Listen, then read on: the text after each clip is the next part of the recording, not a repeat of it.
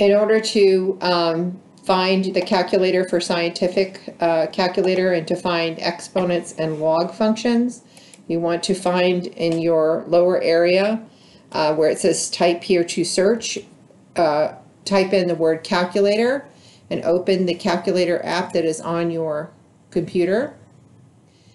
Uh, there are several options in the menu area up here. There's standard, scientific, program, date collection. There's even converters for volume, length, weight, and mass, temperature, which can come in handy, particularly in chemistry.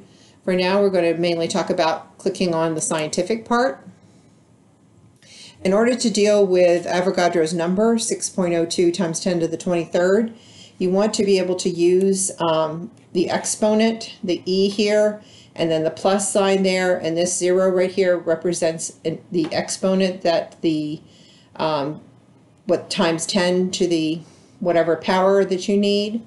So for instance, if we were to multiply Avogadro's number, which is 6.02, and we need it to be exponent 23, I would push the EXP button right below the CE button and put in 23 and say I want to multiply that by 3 to get an answer. And there's my answer. It's 1.8 times 10 to the 24th. That E and the plus 24 represents that information. Say I have another calculation that I want to do. I'm going to clear this by clear E, CE here just above exponent. Say I want to do a division. I want to take 6.02 Avogadro's number, exponent to the 23rd, and divide it by 2.3 exponent 3 and get an answer.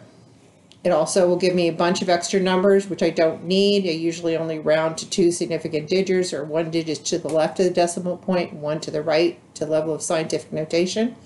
So 2.6 times 10 to the 20th power. Don't forget to always include this last part here where it says E, because this represents times 10 to the 20th power.